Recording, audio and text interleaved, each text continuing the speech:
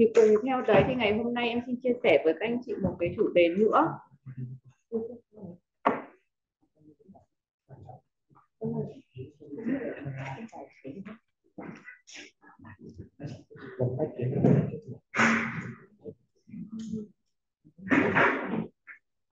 Ờ, về phía công ty BD thì không chỉ là một đơn vị mà cung cấp các cái thiết bị vật tư y tế cho các bệnh viện mà bên em còn có cái chủ trương đó là các cái mình sẽ can thiệp vào tất cả các cái vấn đề liên quan đến lâm sàng về mặt đào tạo cũng như là cập nhật các cái tiêu chuẩn thực hành mới nhất cho các bệnh viện để chúng ta không chỉ là ừ, ờ, là các đối tác với nhau mà chúng ta còn đồng hành với nhau để làm sao có thể cải thiện được chất lượng chăm sóc người bệnh. Thì công ty BD uh, ờ, sẽ có cái mục tiêu về mặt lâm sàng đó là tiếp cận vào tất cả mọi giai đoạn mọi thời điểm đặc biệt là về uh, uh, tĩnh mạch trị liệu thì bên em sẽ có các cái thiết bị liên quan tới các uh, từ các cái bước như là lựa chọn kết nối đường truyền cũng như là đặt kim như thế nào cố định ra làm sao. Sau khi đặt được chúng ta kết nối đường truyền và cái quan trọng nhất làm sao để chúng ta duy trì được cái đường truyền đó một cách lâu nhất để tốt nhất cho bệnh nhân. Thì không biết là các anh chị có để ý trong các cái ca trực của mình hay không? Thì khi mà chúng ta nhận trực chúng ta có để ý các cái uh, tỷ lệ khi mà chúng ta uh, kiểm tra các cái đường truyền của bệnh nhân có cái tỷ lệ như là bơm bị cứng tay hay là kim bị rút uh, bị bị tắc phải rút ra. Hoặc là chúng ta kiểm tra thấy đường truyền cổ tại vị trí của đường truyền của bệnh nhân có các dấu hiệu như là tấy đỏ mặc dù là kim vẫn còn thông suốt hay không còn ở các cái ờ, uh, catheter tĩnh mạch trung tâm như là CVC hay là đường truyền tĩnh mạch trung tâm được đặt từ ngoại vi cái pipeline thì chúng ta có bao giờ để ý đến các cái hiện tượng bán tắc hoặc là tắc hoàn toàn phải hạ bỏ hay không ạ?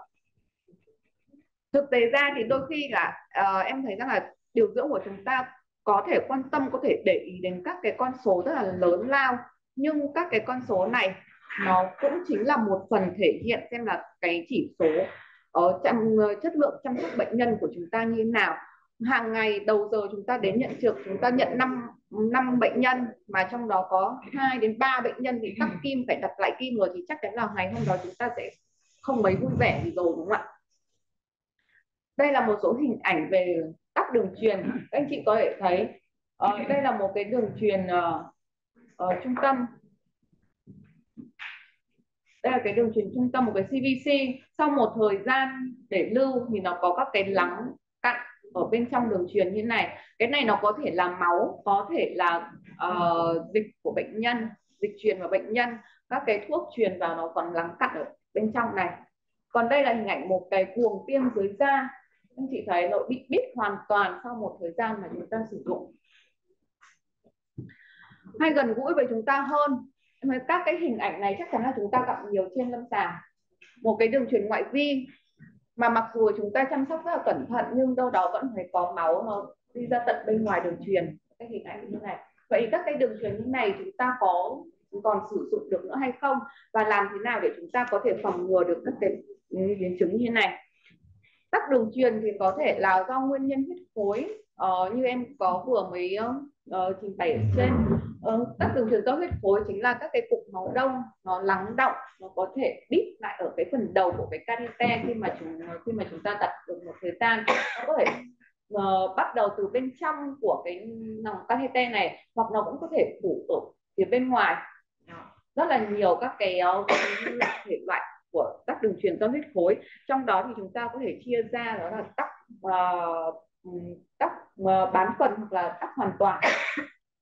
Ví dụ như cái hình ảnh này là một cái hình ảnh tắc bán phần này. Với cái hình ảnh này thì khi mà trên lâm sàng chúng ta có thể gặp các cái tình huống, đó là khi mà chúng ta kiểm tra cái đường truyền chúng ta hút để xem là có máu ra hay không thì chúng ta không thấy có máu ra và hút thì cứng tay. Tuy nhiên, khi mà chúng ta thực hiện cái động tác bơm thuốc thì vẫn có thể bơm được, không thấy có cái biểu hiện ven bị phồng hay gì cả và vẫn thấy nhẹ tay.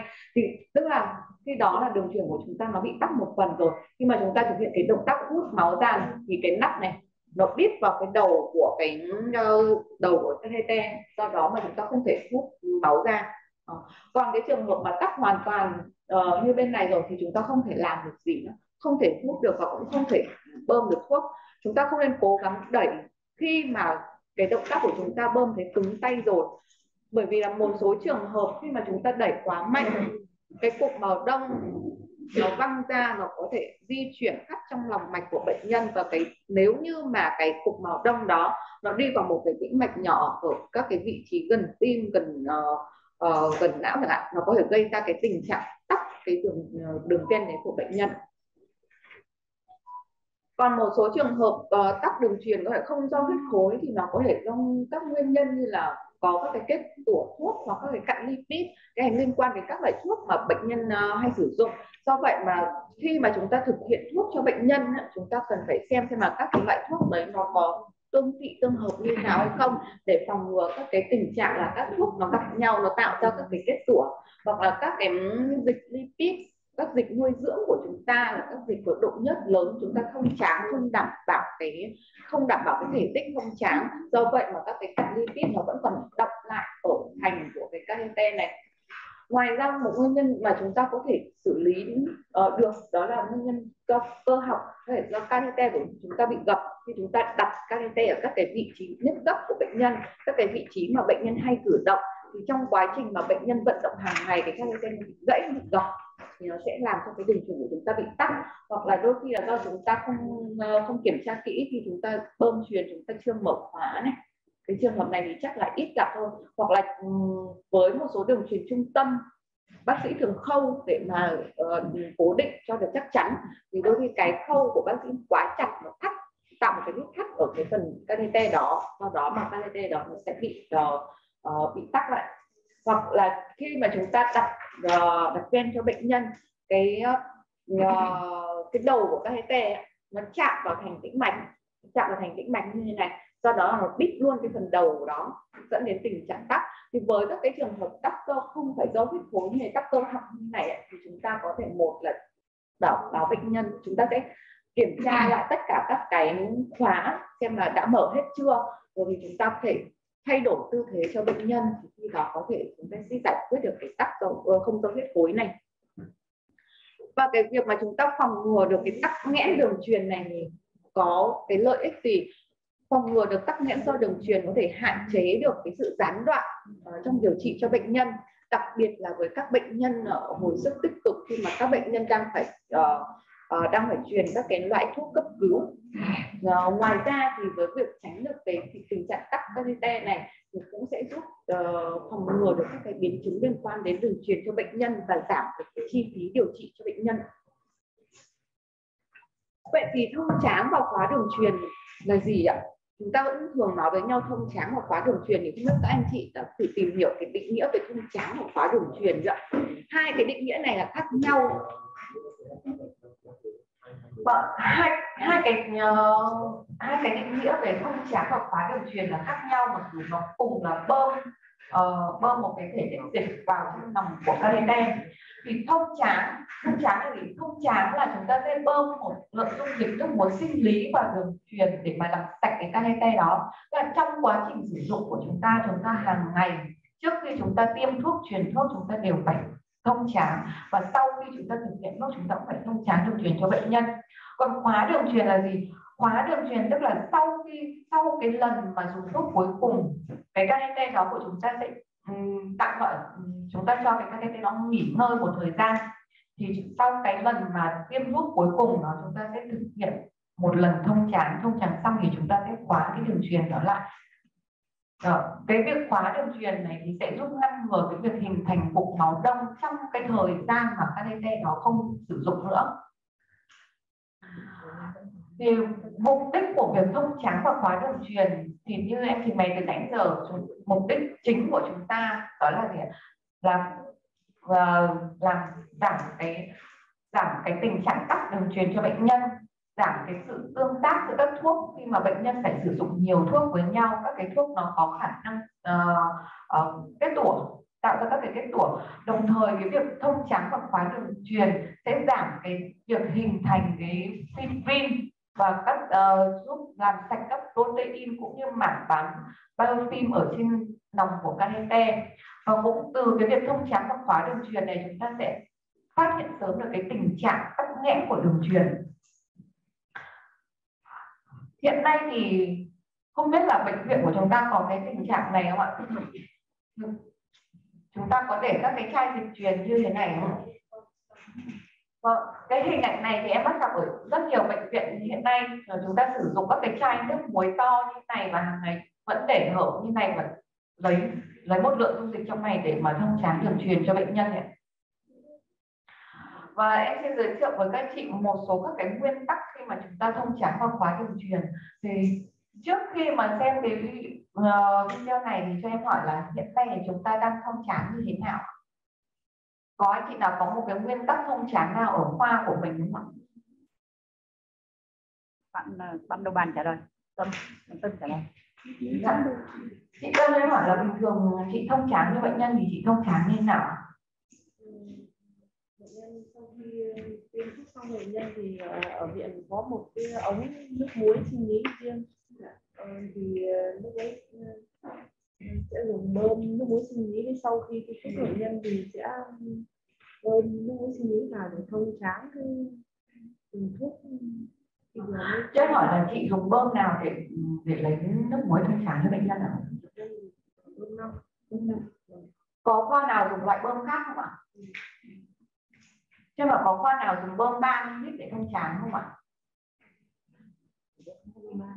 Không có bơm 3. Thế có có khoa nào sử dụng bơm 10 ml để thông tráng cho bệnh nhân không ạ?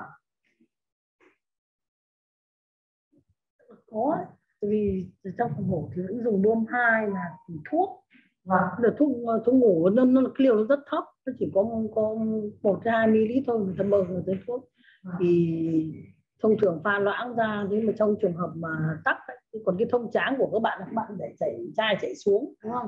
Thì lấy nó khác nhưng mà tôi thấy nó cũng gần như thế tức là ngay ở cái chỗ này mình tiêm và thì có thể là cái đầu ven này nó chạm đầu đầu của kim chạm. Cái thứ hai nữa là là khi mà mình, mình tiêm chọc xong máu nó ra không? Thế thì mình cho vào thì lúc bấy giờ là để cho cái chai nó chảy vào khi cái, cái bơm thuốc còn. Tức là mình sẽ sử dụng đường truyền đúng không ạ? Truyền. liên tục để mà thông tráng đúng không ạ về cái việc sử dụng bơm tiêm để thông tráng thì bệnh viện mình có cái quy định nào là phải sử dụng bơm 5 hay phải sử dụng bơm 10 để thông tráng không ạ mình đã có cái quy định đấy chưa chưa chưa cái, cái thông tráng thì em hỏi lại chị Tâm một chút chị sử dụng bao nhiêu ml nước muối để thông tráng cho bệnh nhân ạ? À? 5 ml. Với cho tất cả các bệnh nhân không Chị chủ chị có thông tráng đường truyền trung tâm không? Ở khoa mình có đường truyền trung tâm không? Hồi sức. Không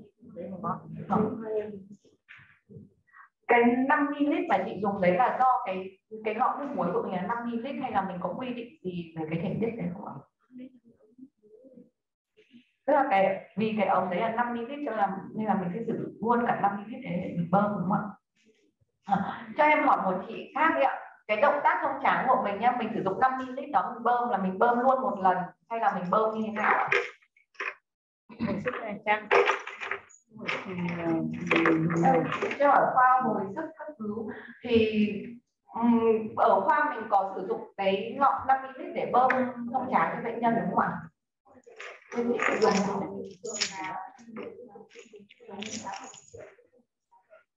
Thế có trường hợp nào là chị phải dùng bơm để chị thông tráng không ạ? Rồi, thế trong trường hợp vâng quy định cụ thể nào về việc là thông tráng thì cần bơm bao nhiêu và dùng bao nhiêu lít nước rồi vâng tức là ừ, rồi mình không có cái quy định nào dùng bơm bao nhiêu và dùng thể tích bao nhiêu mà thế cho hỏi cái động tác thông tráng của chị là chị nếu như trong trường hợp mà mình sử dụng đến 5 ml để mình bơm thì là mình bơm một một lần luôn hay là mình bơm như nào ạ? Tôi một lần mà với ờ, áp lực ờ, liên tục cách từ dạ vâng rồi vâng ạ em cảm ơn. Bây giờ em sẽ mời mọi người cùng xem một cái video này. Đây là một cái video nói về việc uh, chúng ta nên thông tráng như nào. Một cái uh, nguyên lý cơ bản để mình có thể biết được rằng việc mình làm là đúng hay là sai mình cần phải thay đổi như nào. Đây là một cái đường truyền ạ. Thì khi mà chúng ta đặt một cái đường truyền vào trong tay của bệnh nhân thì cái catheter đó, nó sẽ chiếm một phần, một cái thể tích, cái lòng tĩnh mạch. Và cái việc cái catheter nó chiếm một phần cái thể tích của cái lòng tĩnh mạch đó, thì nó sẽ làm cho cái tốc độ, cái dòng máu ở đây nó bị chậm lại. Đồng thời là cái việc mà chúng ta đưa một cái catheter vào, cái thị tưởng tượng giống như khi chúng ta bị đứt tay, nó sẽ có một cái hiện tượng rối loạn đông máu ở tại cái vị trí đó dòng máu của chúng ta sẽ chạy uh, chạy chậm hơn so với các vị trí khác này rồi có cái rối loạn đông máu ở đó này nó sẽ khiến cho tiểu cầu nó sẽ dần dần tập trung ở cái đoạn đó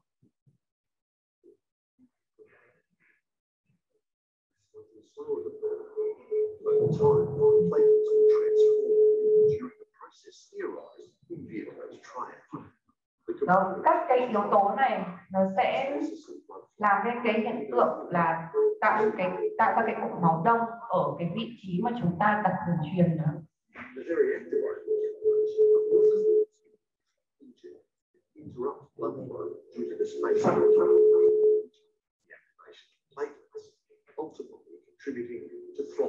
thời gian lưu của cái catheter càng lâu thì các cái uh, tiểu cầu nó tạo ra cái hiện tượng máu động lại đó càng nhiều.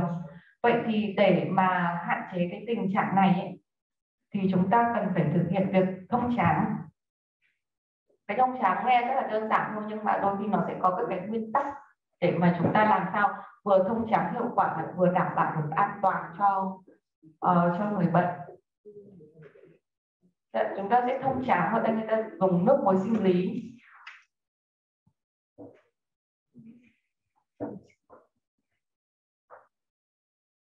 Vâng ạ, việc chúng ta thông tráng, chúng ta bơm vào đấy sẽ làm sạch cái lòng của catheter.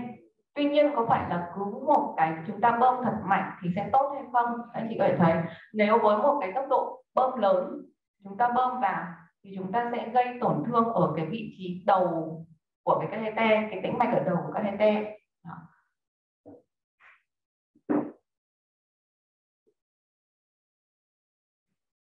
khi mà chúng ta làm tổn thương cái vị trí đầu của cái catheter như này thì dần dần cái vị trí này nó sẽ bị tổn thương. Đó nó sẽ bị tổn thương và cái tổn thương này dần dần nó sẽ lớn lên. Một ngày chúng ta thông tráng ba lần năm lần cứ hàng ngày như đến ngày thứ hai. Có thể là chỗ này nó đã dẫn đến cái tình trạng viêm tĩnh mạch tổn. do vậy mà nhiều khi chúng ta thông tráng chúng, chúng ta đảm bảo được cái catheter của chúng ta là thông suốt nhưng nó lại vô hình chung nó làm cho tĩnh mạch của bệnh nhân bị viêm.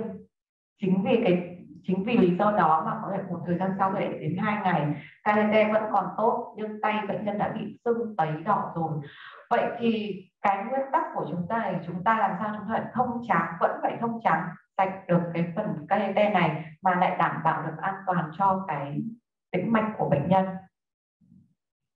Thì người ta nói rằng là cái tốt nhất ấy, cái tốc độ tốt nhất là cái tốc độ mà chúng ta khi mà chúng ta thông tráng vào nó phải tương đương với cái tốc độ của cái dòng máu chảy được tại cái vị trí đó. Nó không gây ra cái hiện tượng. À, như này các anh chị thấy. Nếu chúng ta bơm với một cái lực lớn cái đầu cái phần ờ, cái lực đẩy của uh, nước muối ở cái vị trí này nó rất là lớn này nó sẽ làm cho cái tĩnh mạch của chúng ta nó căng phồng lên như này.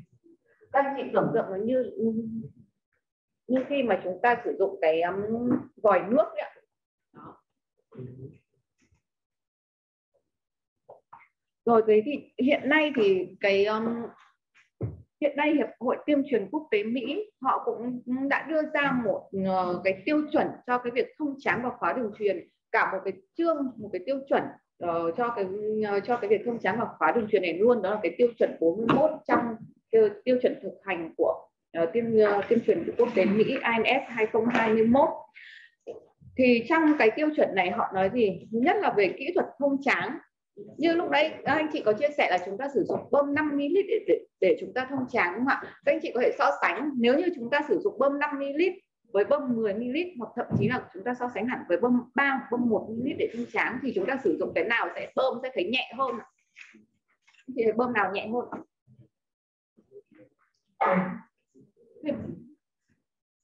có chị là đã thử như vậy chưa ạ?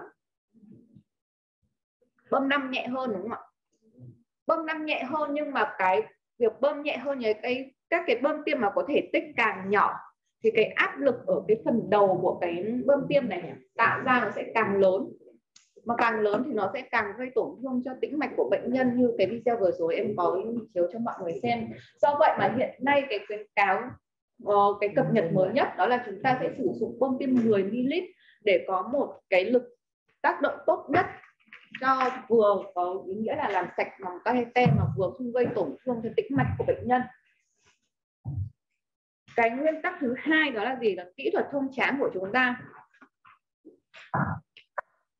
Không phải là chúng ta cứ bơm bèo một cái 5 ml vào là có thể làm sạch uh, được tĩnh mạch cho bệnh nhân mà kỹ thuật thông tráng hiện nay để đạt được hiệu quả tốt nhất đó là chúng ta sẽ sử dụng cái kỹ thuật uh, bơm uh, gọi là bơm bơm nghỉ bơm nghỉ cái push power push nhỉ?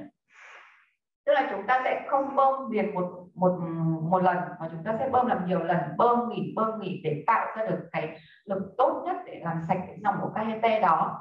Và cái này đã được chứng minh trong các cái thử nghiệm lâm sàng.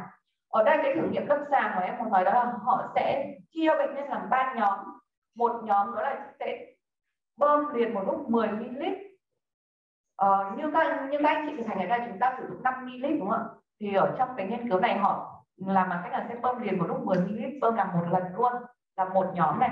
Nhóm thứ hai là sẽ truyền liên tục 500 ml trong vòng 24 giờ. Thì như ở khoa ICU mọi người có nói rằng là mọi người sử dụng cái truyền liên tục đó để mà thông chám và giữ được truyền đúng không ạ? Và một cái nhóm thứ ba mà họ ờ, họ thực hiện đó là bơm 10 lần ngắt quãng, mỗi lần 1 ml tức là sẽ thực hiện cái phương pháp bơm nghỉ bơm nghỉ để mà thông tráng các quá đường truyền. Thực ra thì cả ba nhóm này đều có, đều là mục đích là thông tráng và nó đều mang lại một cái hiệu quả nhất định nào đó. Tuy nhiên, hiệu quả lớn nhất là dành cho cái nhóm mà sử dụng cái phương pháp bơm nghỉ ngắt quãng mỗi một lần một ml thì hiệu quả thông tráng đạt được 90 phần trăm. Còn việc mà chúng ta truyền liên tục 500 ml trong vòng 24 giờ có thông tráng được không? Có. Có giữ được đường truyền hay không thì cũng có giữ được. Tuy nhiên cái hiệu quả của nó ở đây 500 ml trong vòng 24 giờ thì nó tương đương với tốc độ khoảng hơn 20 ml một giờ nhỉ. Thì cái hiệu quả thông tráng và khóa đường truyền nó chỉ là 74 phần trăm mà thôi thì dựa vào cái hiệu quả này tôi thấy rằng là nếu như chúng ta sử dụng cái phương pháp bơm nghỉ thì chắc chắn cái đường truyền đó của chúng ta sẽ lưu được lâu hơn so với cái việc là chúng ta cho chảy liên tục.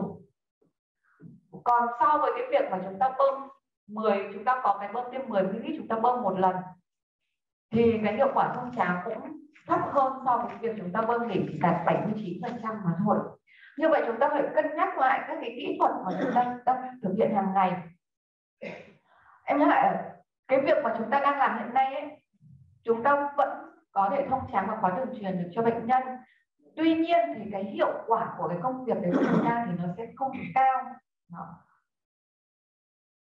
đây chính là một cái mô phỏng cho cái ờ, phương pháp bơm nghỉ bơm ngắt quãng. Một cái động tác rất là đơn giản thôi nhưng sẽ mang lại cái hiệu quả cao hơn cho anh chị trong quá trình mà chúng ta làm việc đầu tiên chúng ta cũng sẽ sát khuẩn cái ờ, vị trí mà chúng ta sẽ kết nối này. Sát khuẩn, đây, trong này họ yêu cầu sát khuẩn 15 giây.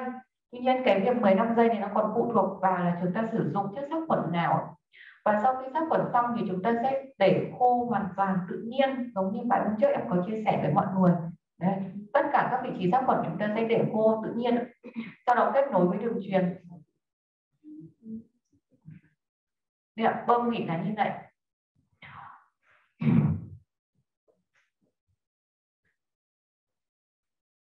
Đó. bơm nghỉ bơm nghỉ. Động tác rất là đơn giản, nhưng mà hiệu quả mang lại cho chúng ta thì lớn hơn rất là nhiều. Vâng ạ. Với cái việc bơm nghỉ như này thì cái hiệu quả thông chán và làm sạch bằng KTT sẽ tốt hơn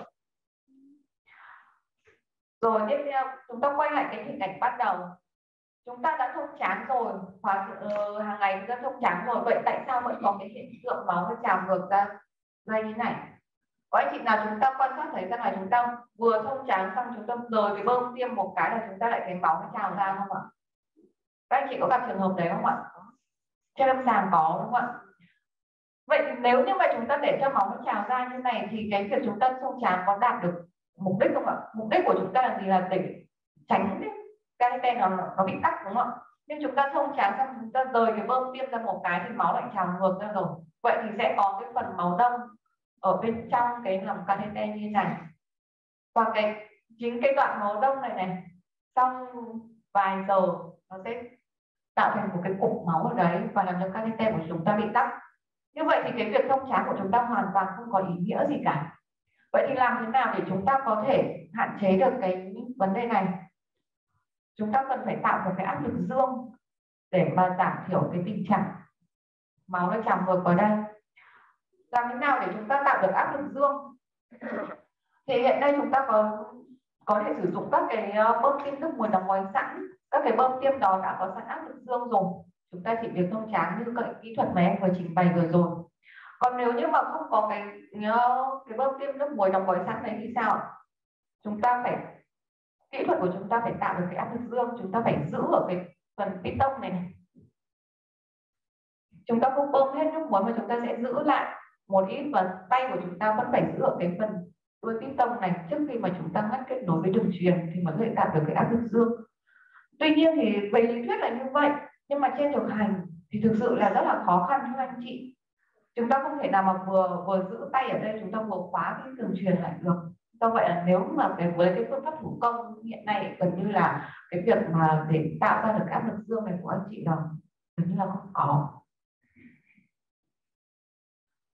Rồi một cái cách nữa để mà chúng ta có thể ngăn ngừa được cái việc trào ngược máu ờ, một cái phương pháp hỗ trợ đó là chúng ta sử dụng các cái uh, dây kết nối mà có cái khóa dương này có cái kẹp khóa này để trước khi mà chúng ta ngắt đường uh, trước khi chúng ta ngắt cái đường bơm tiêm chúng ta khóa nó lại để chúng ta vẫn duy trì cái áp lực dương đó. Duy trì cái áp lực dương thì sẽ không cho cái máu nó dội ngược trở lại nó nó, nó dồn vào cái phần ờ, lòng của catheter rồi về dung dịch thông tráng thì rất là vui em rất là vui khi mà được các anh chị chia sẻ là hiện tại bệnh viện mình sử dụng hoàn toàn là nước muối sinh lý để mà thông tráng đúng không ạ? Thì cái này ờ, nhiều bệnh viện là chưa chưa thực hiện được trước đây chúng ta có sử dụng nước cất để thông tráng không ạ? Chúng ta đã từng sử dụng nước cất để thông tráng chưa ạ? Thế bây giờ, nếu chúng ta không sử dụng nước cất để thông tráng thì có anh chị nào biết tại sao chúng ta không sử dụng nước cất mà phải dùng nước muối không? tại vì đúng là bệnh viện của chúng ta một bệnh viện quốc tế cho nên chúng ta có điều kiện, chúng ta không những sử dụng nước muối mà còn sử dụng hẳn một lọ riêng nhỏ cho bệnh nhân, đúng không còn em cũng được nhiều bệnh viện chia sẻ là họ không những là không có nước muối, không những không có chai to hẳn hoi để dùng chung cho nhiều bệnh nhân, nhưng mà thậm chí một số viện vẫn còn sử dụng nước cấp để thông tráng vậy thì không biết các anh chị có biết lý do vì sao chúng ta không dùng nước cấp để thông tráng không ạ? Có anh chị nào có thể chia sẻ với em này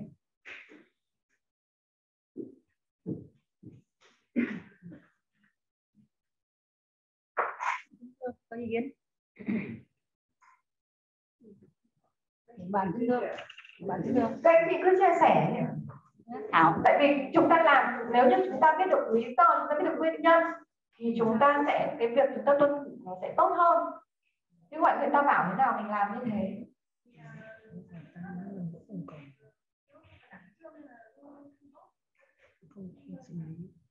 Dạ. vâng.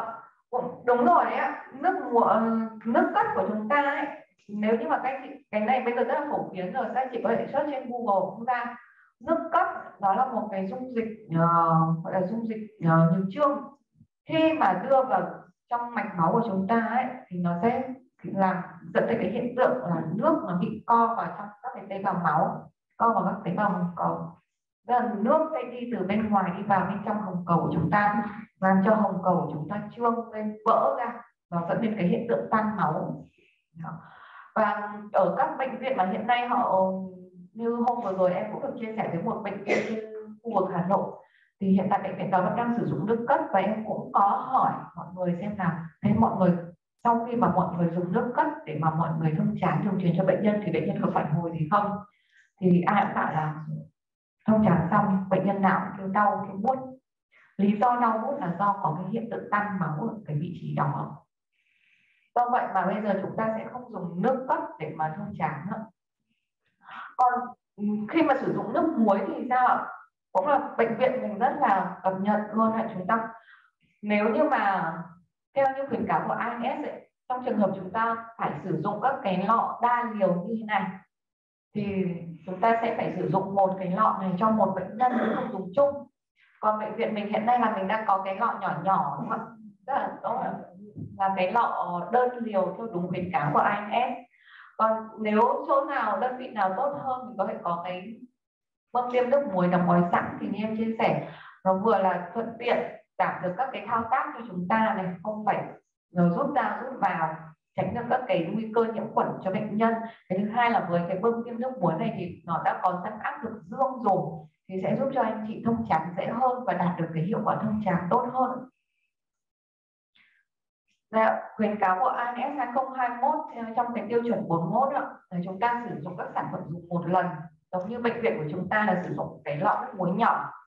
Và uh, nếu như chúng ta sử dụng các cái bơm tiêm đóng gói sẵn này thì chúng ta sẽ giảm được cái nguy cơ nhiễm khuẩn huyết và tiết kiệm được thời gian làm việc cho các anh chị và không chỉ INS 2021 mà kể cả CDC bây giờ họ cũng khuyến cáo là không sử dụng các cái loại thuốc được đóng gói dưới dạng đơn liều mà dùng cho nhiều bệnh nhân. Đơn liều dùng cho nhiều bệnh nhân, tức là ví dụ như cái chai nước muối to, đấy là một cái chai là dùng cho một bệnh nhân nhỉ và chúng ta cũng không sử dụng các cái túi dung dịch tiêm tĩnh mạch như một nguồn cung cấp chung cho nhiều bệnh nhân, thì cũng tương tự như vậy. Chúng ta không sử dụng các cái túi dịch để mà chúng ta rút từ đấy ra để chúng ta đi thung tráng cho nhiều bệnh nhân.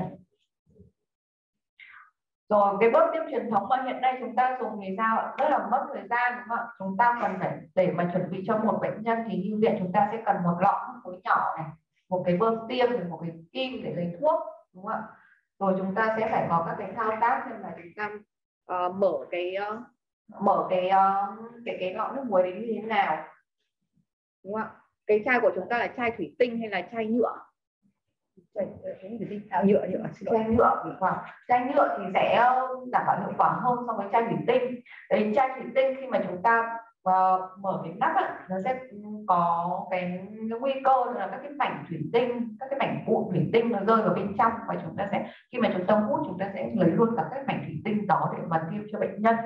Ngoài ra thì khi mà chúng ta phải thực hiện nhiều bước như vậy chúng ta phải mở phải mở cái chai ra này, chúng ta phải lấy kim tiêm chúng ta rút ra này, mất thời gian không ạ? Có và việc mất thời gian xong rồi chúng ta còn cái áp lực chăm sóc người bệnh hàng ngày nữa. Vậy thì cái chúng ta có thể cái ý thức để mà tuân thủ được các cái thao tác trong từng bước đấy nó như nào, chắc chắn trên thực hành nó sẽ giảm hơn hẳn so với khi mà chúng ta học lý thuyết.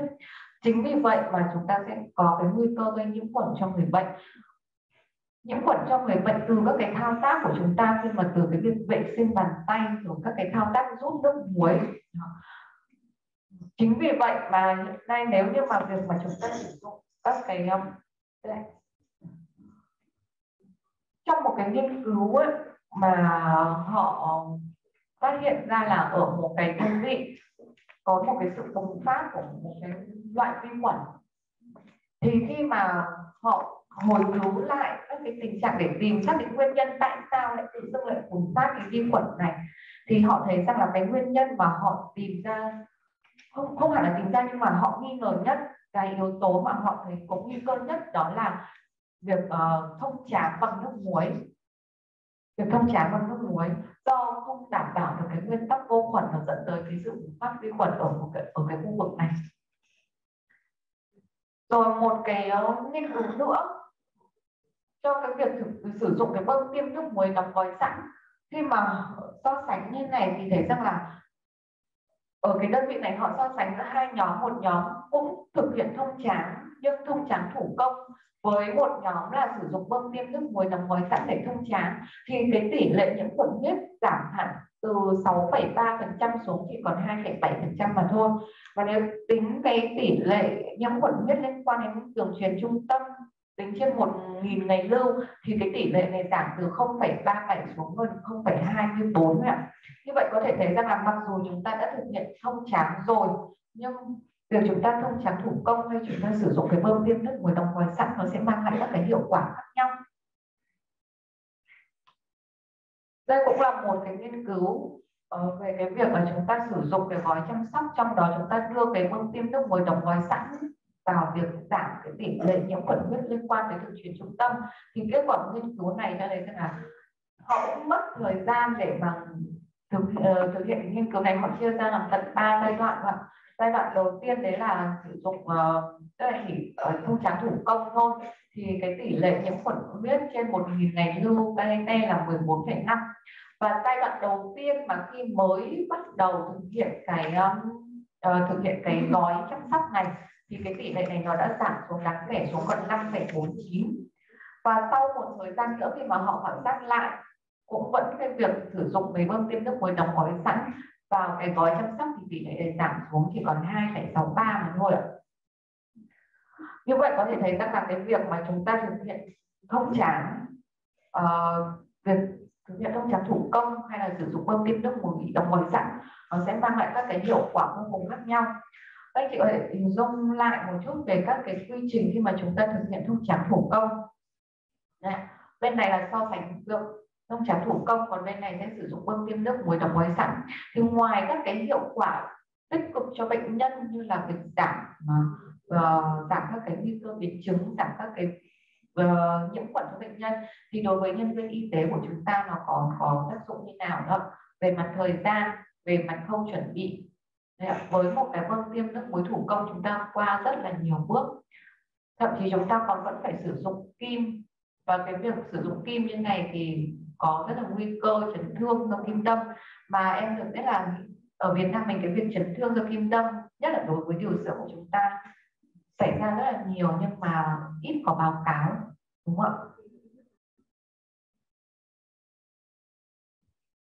ạ? Thông tráng bằng nước muối đóng gói sẵn thì vô cùng đơn giản và tiện lợi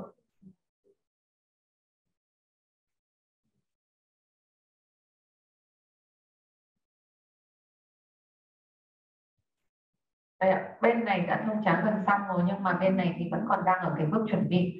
Bước chuẩn bị của họ rất là um, gọi là theo một cái đúng một cái tiêu chuẩn.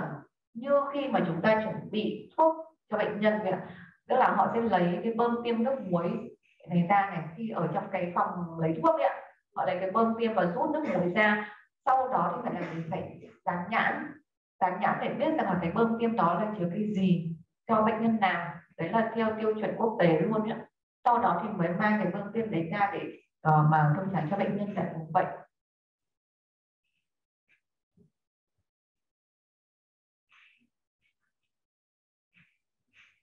Đây là cái bước mà họ để khô cái đầu kết nối.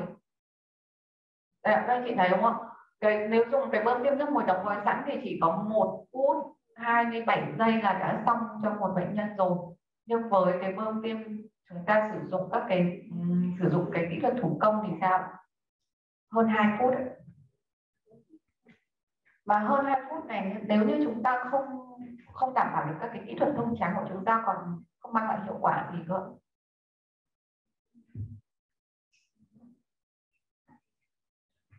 Dạ, tầm hai phút rưỡi đúng không Rồi ở Việt Nam của chúng ta thì sao?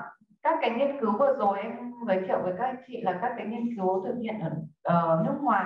Còn ở Việt Nam thì đã có chưa ở ờ, thì tại bệnh viện Nhi đồng 1 thành phố Hồ Chí Minh họ đã áp dụng cái kỹ thuật cải tiến một cái quy trình cải tiến chất lượng liên quan đến đường truyền trung tâm.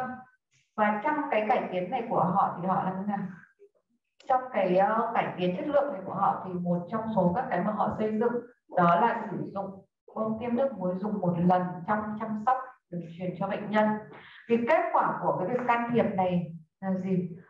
Trước khi mà thực hiện cái gói chăm sóc này thì cái tỷ lệ nhiễm khuẩn huyết liên quan đến đường truyền trung tâm tại bệnh viện này là 5,9 trên 1.000 ngày như KDT thì sau khi thực hiện thì cái ờ, tỷ lệ này giảm xuống chỉ còn 4,2 trên 1 nghìn này đưa điều trị trung tâm mà thôi. Cái con số này nó không chỉ cho thấy cái tỷ lệ uh, nhiễm khuẩn huyết giảm xuống mà cùng với cái tỷ lệ nhiễm khuẩn huyết giảm xuống là gì các cái chi phí liên quan đến cái việc điều trị nhiễm khuẩn huyết cho bệnh nhân cũng được giảm đi. Rồi bây giờ em nói phần thứ ba là về cái thể tích thông tráng. Như lúc nãy các anh chị có chia sẻ đấy là vì cái lọ nước muối của chúng ta là 5 ml đúng không ạ? Cho nên chúng tiện và chúng ta lấy để chúng ta bơm luôn. Và em tin rằng là có trường hợp là chúng ta còn không bơm hết cả 5 ml để gợn đúng không ạ? Tuy nhiên thì cái để mà đảm bảo được cái hiệu quả thông tráng thì theo khuyến cáo hiện nay là cái thể tích tối thiểu mà chúng ta cần phải thông tráng là hai lần thể tích của KT cộng thêm cái thể tích uh, dây nối thêm. Em lấy ví dụ ở khoa nhi chẳng hạn ở khoa nhi thường thường các em bé của chúng ta sẽ có một cái um, ờ, uh, KT đúng không ạ? Cộng thêm một cái đoạn dây nối đúng không ạ? Vậy thì khi mà thực hiện thông tráng là các anh chị sẽ thông tráng từ chỗ nào ạ? Từ cái chân catheter hay là từ cái đầu dây nối ạ? Từ đầu dây nối đúng không ạ? Đầu dây nối thế thì cái việc chúng ta thông tráng ở tại chân catheter với cái thể tích chúng ta thông tráng từ đầu cái dây nối nó là khác nhau. Nếu như chúng ta thực hiện thông tráng từ cái đầu dây nối thì cái thể tích tối thiểu mà chúng ta cần sử dụng là cái thể tích của cái KT ví dụ như ở đây cái thể tích của cái KT cộng thêm cái phần dây nối này. Sau đó chúng ta gấp hai lần lên. Thì đấy là cái thể tích tối thiểu. Ví dụ như cái KT của chúng ta ở đây là 0,1 ml 0,1 ml cộng thêm cái phần dây nối của chúng ta là một ml như vậy tổng thể tích chỗ này tổng thể tích hệ thống này của chúng ta là 1,1 ml. Thế thì cái thể tích thông trắng tối thiểu của chúng ta phải là hai lần nó tức là 2,2 ml. Tất nhiên là chúng ta không bám sát vào cái con số 2,2 này tại vì nó là con số tối thiểu. Vì vậy mà trên lâm sàng chúng ta có đây chúng ta có thể sử dụng 3 ml 5 ml đều được nhưng chúng ta phải hiểu được cái nguyên tắc là chúng ta sử dụng thể tích là bao nhiêu bởi vì với một số trường hợp bệnh nhân có bệnh lý về uh, các chất điện giải thì chúng ta cũng phải cân nhắc là cái lượng điện giải chúng ta được phép đưa vào người bệnh nhân là bao nhiêu. Thì vậy lúc nào chúng ta cũng dùng 5 ml để chúng ta thông chán cho người bệnh. Còn với đường truyền trung tâm của chúng ta thì là chúng ta phải có một cái thể tích lớn hơn. Ví dụ như là uh, cái đường truyền trung tâm của chúng ta rất là dài đúng không ạ? Uh, mặc dù là cái, chúng ta hay gặp là cái CDC mặc dù cái đầu ra của nó, chúng ta nhìn nó chỉ có một đoạn này thôi, nhưng còn một đoạn ở bên trong nữa. Một cái đoạn ở bên trong đi vào cái tĩnh mạch trung tâm nữa. Vậy thì cái thể chúng ta phải tìm hiểu lại là cái CVC đó của chúng ta, cái thể tích, cái ờ, phần CVC đó là bao nhiêu để mà chúng ta cộng vào rồi chúng ta lấy cái tối thiểu. Đặc biệt là với đường truyền trung tâm thì có khuyến cáo là với các cái loại dung dịch thông thường, nếu bệnh nhân uh, sử dụng các loại thuốc các, loại các loại dung dịch thông thường thì chúng ta lấy luôn 10 ml để chúng ta thông tráng cho người bệnh. Còn với bệnh nhân mà sử dụng các cái dịch mà có độ chất cao các cái loại dinh dưỡng lipid thì thậm chí chúng ta phải sử dụng tới 20 ml để mà thông tráng cái đường truyền trung tâm đó. Ờ, nếu như mà chúng ta sử dụng cái tối thiểu là bằng hai lần thể tích toàn hệ thống rồi còn bình thường chúng ta phải sử dụng với thể tích lớn hơn. Cái thể tích lớn hơn này thì cái hiệu quả của nó sẽ tốt hơn như là có thể loại bỏ được các cái mảng pin hay là các cái thuốc các cái lắng tặng nó còn đọng lại ở uh, nằm bộ PET hoặc là các cái mảnh vụn ở đó. Đó là về khóa về cái việc thông tráng đường truyền. Còn khóa đường truyền thì thể tích như thế nào? Thì uh, như em cũng có trình bày lúc nãy là cái thông tráng và khóa đường truyền là cũng khác nhau. Khóa đường truyền là khi mà cái đường truyền đó của chúng ta không sử dụng trong một thời gian dài đặc biệt là các anh chị hay gặp ở trong các cái đường truyền trung tâm như là cái vùng tiêm dưới da. Không biết là viện mình có nhiều bệnh nhân ung bướu và sử dụng vùng tiêm dưới da hay không? Thì với các cái bệnh nhân mà có sử dụng vùng tiêm dưới da các anh chị sẽ thấy là có thể hàng tháng hoặc hai ba tháng họ phải đến viện để mà họ tráng cái, cái vùng tiêm đó một lần đúng không ạ? Đấy chính là cái động tác mà họ khóa cái đường truyền đó. Thì khóa đường truyền là gì? Chúng ta cũng vẫn tạo cái áp lực dương và cái thể tích mà khóa đường truyền là cái bằng thể tích của toàn hệ thống cộng thêm 20 phần trăm.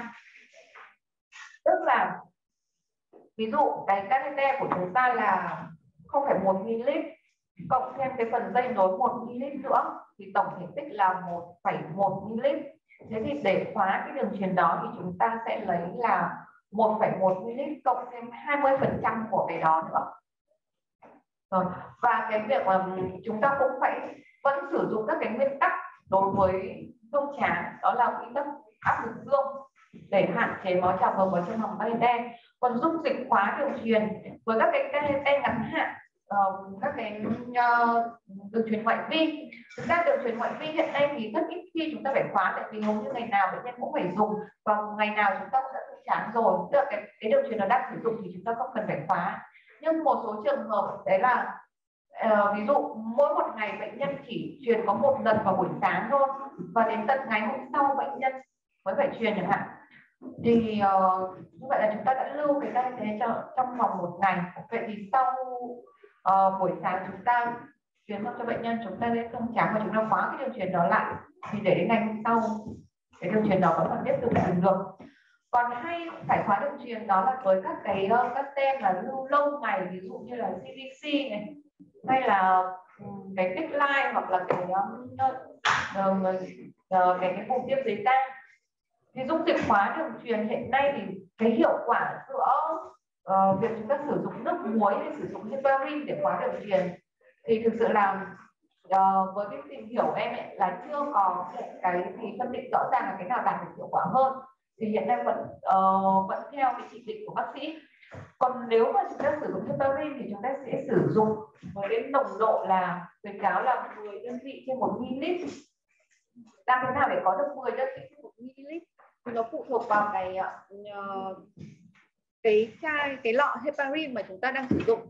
Thì theo như em biết là chúng ta có cái chai, cái lọ heparin với cái nồng độ là 5.000 đơn vị trên 1 ml. Thì để pha được cái nồng độ 10 đơn vị trên 1 ml, chúng ta sẽ sử dụng 1 ml của của cái lọ heparin đó. Chúng ta pha vào chai nước với 500 ml. Như vậy là chúng ta sẽ thu được nồng độ là 10 đơn vị trên 1 ml. Và cái thể tích hông tráng thì như em còn nói đó là tổng thể tích của cái phần catheter cộng dây nối cộng thêm 20 phần trăm. Thì rồi thì để cho dễ nhớ ấy, chúng ta sẽ có một cái bảng. Đấy là tổng thể tích. Ờ, ví dụ như ở đây với đường truyền ngoại vi thì chúng ta chỉ sử, cần sử dụng một ml là được.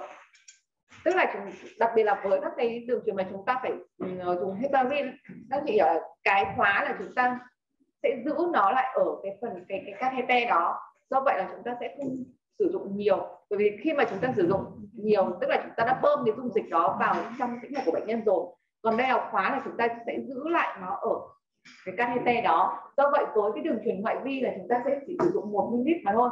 Với đường truyền trung tâm hoặc là cái tích line các cái ờ, uh, CVC thì chúng ta sẽ sử dụng 1,5 ml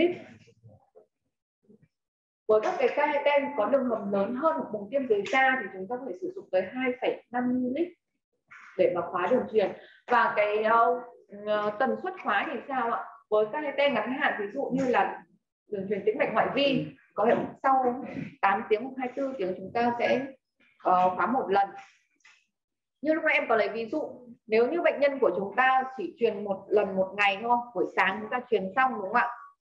Thì chúng ta sẽ khóa nó lại thì để đảm bảo được cái đường truyền đó nó còn thông suốt được tới ngày hôm sau thì có thể tối ngày hôm đó chúng ta phải khóa phải khóa cái đường truyền đó một lần nữa.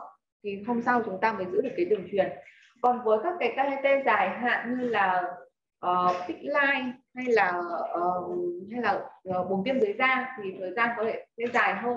Đây ví dụ như buồng tiêm dưới da vậy 6 đến 8 tuần chúng ta sử một lần. Do vậy mà các anh chị có thể thấy rằng là với các bệnh nhân nhất là bệnh nhân ung bướu mà họ có cái buồng tiêm dưới da ấy thì có thể là một tháng đến hai tháng họ phải quay lại bệnh viện để mà họ khóa cái đường truyền đó một, một lần. Còn về cái cái hông tráng thì uh, tương tự như vậy. Thì cái tần suất nguyên tắc của cái tần suất thông tráng là gì ạ? Trước và sau khi tiêm thuốc cái thông tráng là cái mà chúng ta sẽ thực hiện hàng ngày luôn. Chúng ta sẽ phải thông tráng trước và sau khi tiêm thuốc hoặc là truyền dịch hoặc là khi lấy máu cho bệnh nhân và giữa hai giữa hai loại thuốc với nhau thì chúng ta sẽ phải thông tráng một lần. Đó. Rồi thể tích và cái kỹ thuật thông tráng thì lúc nãy em có trình bày với mọi người rồi. Vâng, đó là toàn bộ về cái phần thông tráng, cái kỹ thuật thông tráng, có nguyên tắc thông tráng và thể tích cũng như uh, là tần suất thông tráng và khóa đường truyền. Uh, thì em hy vọng là cái bài chia sẻ hôm nay của em sẽ uh, giúp ích hơn cho anh chị trong cái uh, quá trình mà chúng ta duy trì cái KKT nó sao cho mà được lâu hơn ừ, cho bệnh nhân và đồng thời là cái việc mà chúng ta làm và chúng ta làm phải đạt được cái hiệu quả, đạt được cái mục đích mà chúng ta đề ra. Em xin cảm ơn.